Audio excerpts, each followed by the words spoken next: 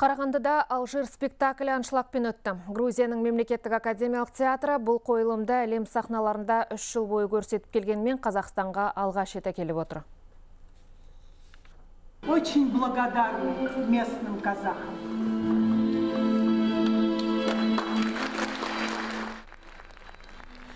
Театр труппасы Қарлақтың 17-ші бөлімшесі болған Алжир музейінде болып репрессия жылдарының зобалаңын көзбен көрген соң спектакль дүниеге келген.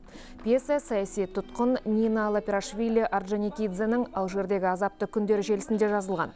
Қойылымда тоталитарлық жүйенің құрбаны болған қарапайым әйелдің аянышты тағдыры қамауға алынғаннан босап шыққанға дейінгі өмірі суреттеледі. Театрдың жерді әртісі сол жылдардағы қасіретті шынай жеткізе бөлді. Залда көзіне жас алмаған қалмады.